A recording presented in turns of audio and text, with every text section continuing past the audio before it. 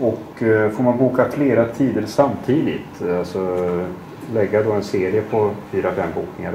Där hade vi lite olika. Nej, inte på samtidigt. En bokning på samtidigt. Bilkåren en, bokning. Man får göra flera bokningar. Och, eh, ja.